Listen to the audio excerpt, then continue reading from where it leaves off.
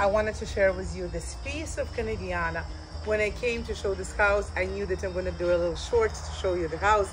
So I want to share with you the part of my day. And my discovery was a little signs of a Star of David uh, in all entire house outside.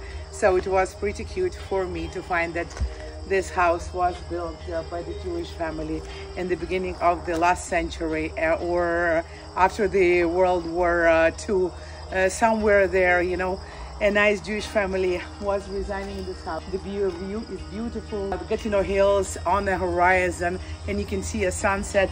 This property is a little bit overpriced because it's cost $670,000. It's about $250,000 you have to put in here. It is no dishwasher, no uh, washer, no dryer here, and uh, uh, you know, no basement. So trust me, it is a project for people that love old houses.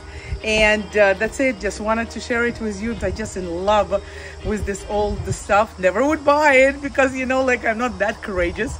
But it's just piece of history. I cannot uh, show you inside, but Inside they have a beautiful pieces of wood and beautiful staircase and a metal staircase in the kitchen. So really good little stuff. Alvina Usher, Ottawa, real estate expert.